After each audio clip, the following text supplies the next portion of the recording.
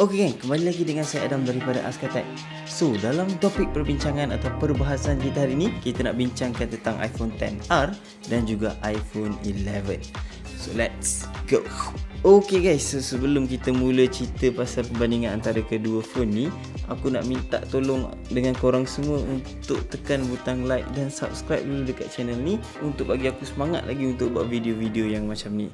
Dan kalau korang ada suggestion ke ataupun nak buat perbandingan iPhone antara iPhone ni dengan iPhone ni ke antara phone ni dengan iPhone ke ataupun perbandingan apa-apa phone korang boleh tinggalkan komen dekat bahagian bawah. So macam biasalah kita nak buat hands on review ataupun perbandingan antara kedua phone ni iaitu iPhone XR dan juga iPhone 11 ataupun iPhone 11 color purple ni. So macam biasa kita akan mulakan dengan harga dia, build quality, display, camera, performance, bateri dan kesimpulan yang aku boleh bagikan lah untuk kedua-dua phone ni. Okay, macam biasa kita mulakan benda yang pertama adalah benda yang paling penting untuk semua orang kat Malaysia ni iaitu harga untuk kedua-dua phone ni.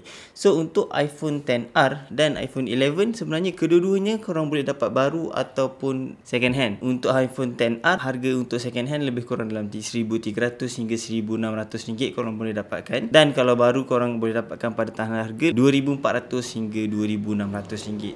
So basically tambah 1000 lah untuk dapat yang baru. Untuk iPhone 11 pula harganya pada second hand adalah lebih kurang 2200 hingga 2400 ringgit. Tapi untuk baru dia daripada 2900 hingga 3600 ringgit untuk iPhone 11 baru. So banyak beza dia lah kalau untuk baru ni. Ok dah cerita pasal harga dia korang boleh fikir sendirilah yang ni murah murah lagi pada yang ni. So okey ke tak okey jom kita masuk pada benda yang pertama iaitu dari segi display dia. So macam korang tengok display untuk kedua-dua phone ni adalah lebih kurang sama ataupun sama je sebenarnya. Kedua-duanya dibekalkan dengan IPS LCD pada saiz 6.1 inci dengan kecerahan yang lebih kurang sama dan pixel density ataupun dia punya resolusi pun sama juga. Apa yang aku nak kata kat sini display dia adalah sama saja untuk kedua-dua phone ni tak ada beza sangat. Kedua-duanya memakai IPS LCD yang sangat-sangat cantik cantik dan dipanggil liquid retina display untuk kedua-dua phone ni. Basically aku tak ada isu pasal display dia sebab bagi aku kedua-dua phone ni memang adalah IPS LCD yang paling cantik dalam kategori dia lah. So tak ada isu tentang display dia memang cantik dan menarik dan dua-duanya masih relevan dan boleh dipakai pada tahun 2021 ni. Okay masuk pasal build quality dan design untuk kedua-dua phone ni.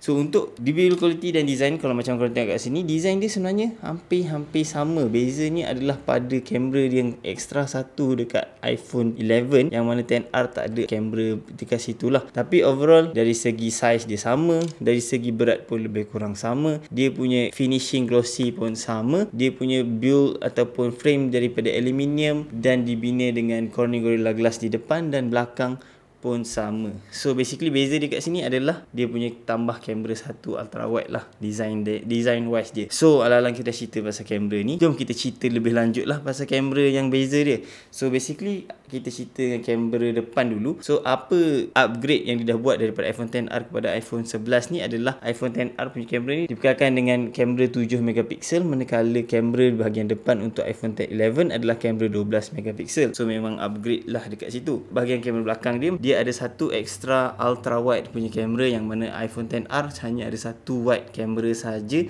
yang sama dengan iPhone 11. Dari segi hardware dia memang samalah 12 megapiksel tapi dari segi hasil dia ada beza sebenarnya. Okey, senang cerita jom kita ambil gambar selfie satu kita tengok selfie dia macam yang korang tengok kat sini lah. So selfie dia kedua-duanya pun cantik, kedua-duanya pun okey. Cuma dekat sini kalau kita tengok dekat bahagian gelap tu dia boleh dapat hasilkan gambar yang lebih cantik lah. Berbanding dengan iPhone XR dia gelap tu dia macam lebih kontrasti lah compare dengan iPhone 11. Untuk kamera belakang dia pun dia hasilkan gambar pun lebih kurang juga. Yang mana iPhone XR ni aku nampak dia gambar tu lebih kontrasti berbanding dengan iPhone 11 dia boleh hasilkan gambar. Dia dapat tangkap gambar yang gelap tu nampak lebih cerah. Antara perbezaan yang paling ketara dia adalah kamera belakang belakang ni untuk iPhone 10R ni untuk portrait mode korang tak boleh ambil gambar selain pada orang. Untuk orang saja korang boleh ambil gambar portrait mode pakai iPhone 10R tapi untuk iPhone 11 korang boleh ambil lah segala apa pun nak ambil barang ke apa ke semua boleh pakai portrait mode. Tapi untuk 10R dia tak boleh detect selain pada manusia. Dan macam mana korang tahu, iPhone 11 ni dia dah boleh pakai gambar sehingga 4K untuk video bahagian depan tapi dekat iPhone XR hanyalah pada 1080p sahaja. So itu ini adalah gambar video dia dari depan macam mana korang boleh tengok. Overall okey lah. Dia punya game, dua-dua video pun cantik cuma ni lebih cantik sebab dia punya resolusi lebih besar. Dan untuk video belakang dia pun sama jugalah macam aku tunjuk dekat korang kat sini. Dua-dua pun boleh hasil gambar yang cantik dan menarik. Cuma iPhone 11 ni dia punya video tu overall memang sama macam iPhone 11 Pro yang aku ada. So tak ada beza sangat antara 11 dengan 11 Pro punya hasil video dan gambar.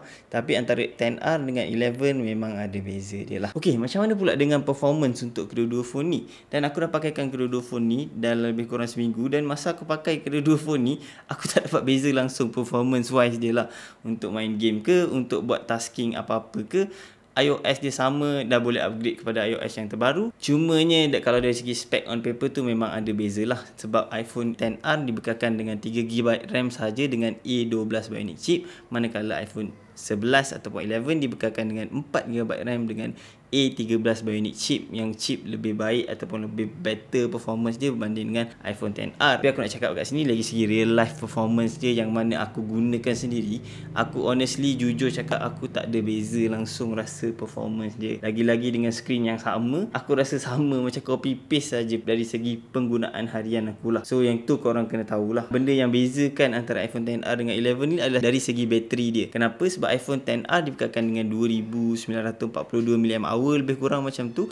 Dan iPhone 11 dibekalkan dengan 3110 mAh bateri yang lebih besar dan lebih tahan lama lah berbanding dengan iPhone XR tapi aku cerita dekat sini dari segi pengalaman aku sendiri guna sebab kedua-dua phone ni adalah iPhone terpakai ataupun use. So bateri percentage pun dua-dua dah turun. Untuk aku personally aku pakai kedua-dua phone ni sama saja bateri dia punya performance tu lah. Boleh pakai dalam masa satu hari setengah macam tu. Tapi untuk satu hari kedua-dua phone ni memang tak ada masalah. Kalau pakai heavy banyak sangat hujung akhir hari tu dah mungkin dah kurang sikit lah. Tapi kedua-duanya untuk dari segi bateri memang tak ada masalah pada pendapat aku. Ok lah kita dah cerita yang main-main apa perbezaan dia apa persamaan dia dan banyak persamaan sebenarnya. Antara feature-feature lain yang korang patut tahu dia ada ada dia dua-dua dibekalkan dengan fast charging. Dua-dua ada key wireless charging dekat bahagian belakang ni dan dua-dua ada stereo speaker yang memang sedap didengarkan. Tak ada masalah dekat stereo speaker kedua-dua phone ni. Dan dua-dua tak ada headphone jack lah. So apa yang aku nak ceritakan sebenarnya perbezaan kesimpulan dekat sini aku sebenarnya dalam video ni aku nak bantu siapa yang nak buat purchase decision. Yang tengah terpinga-pinga nak beli iPhone 10R ke nak beli iPhone 11 mana satu lebih baloi mana satu lebih orang kata patut dibeli lah. Ok kat sini aku nak cerita tentang harga dari segi sudut yang aku beli.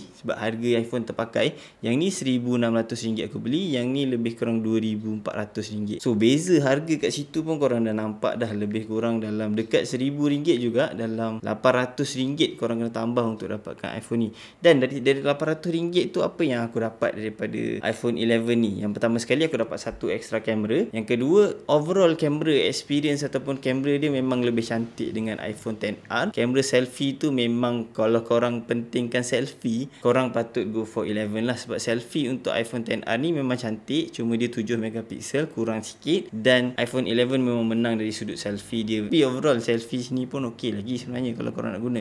Macam aku aku tak ambil selfie sangat so aku tak kisah sangat lah pasal kamera selfie tu kan. Dan dari segi kamera juga untuk portrait yang ni tak boleh ambil portrait macam-macam sangat. Yang ni macam-macam portrait objek ke haiwan ke apa ke tak ada masalah. Yang ni portrait manusia saja korang boleh ambil. Dari segi performance bagi aku sama. Dari segi bateri pun sama. Dari segi display pun sama dari segi design pun sama dari segi build quality dan overall feel pun sama So dekat sini kalau korang tanya aku lah kalau aku contoh aku ada duit untuk beli satu salah satu je phone yang mana satu aku akan beli. Jujurnya aku cakap aku akan go for iPhone 10R juga dekat sini. Kenapa? Sebab value for money yang diberikan. Harganya lebih murah RM800 dekat RM1000 juga banyak tu sebenarnya. Dan dekat iPhone 10R ni korang boleh dapat performance yang sama. Kamera selfie dia tak cantik sangat. Kamera dia lebih okey lah dia boleh dapatkan. Cuma selfie dia kurang cantik sangat. Aku tak kisah sebab aku tak ambil selfie sangat. Bateri dia lebih kurang sama. Di display sama design body sama. Yelah design dia outdated sikit sebab ada satu saja kan. Tapi aku tak kisah sangat pasal tu. Dari segi value for money memang aku pilih 10R lah. Tapi kalau mana mereka yang memang pakai nak selfie yang lebih cantik dan video depan yang lebih cantik yang memang pakai video depan dan kamera ultra wide yang penting kan ultra wide korang memang should go for iPhone 11 tapi kalau kalau tak penting kan semua tu aku rasa 10R ni dah cukup dah untuk korang semua. Ok guys. Aku harap video perbandingan ringkas ni membantu untuk siapa yang tengah terfikir nak beli. Dan kalau video ni bantu aku harap korang boleh bantu aku dengan cara tekan butang like dan subscribe dekat channel Askatek untuk bantu aku bagi semangat buat video-video yang lebih baik dan menarik untuk korang semua. Ok guys sekian saya Adam daripada Askatek. Assalamualaikum dan salam sejahtera. Thank you.